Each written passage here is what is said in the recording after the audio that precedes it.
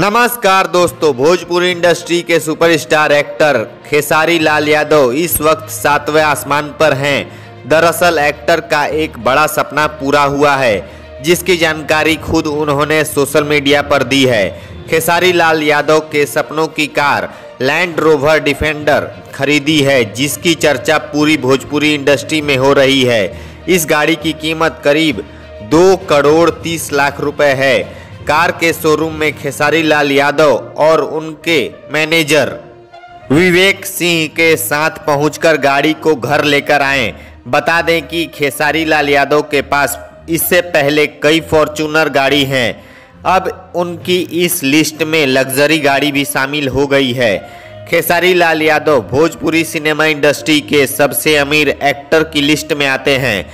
उनकी नेटवर्थ करीब चौदह करोड़ रुपए है। कहा जाता है कि एक दौर था जब खेसारी लाल यादव लिट्टी चोखा बेचकर गुजारा किया करते थे, लेकिन उनकी प्रतिभा और कड़े संघर्ष के बूते खेसारी लाल यादव ने यहाँ तक पहुँचने में कामयाबी हासिल की है।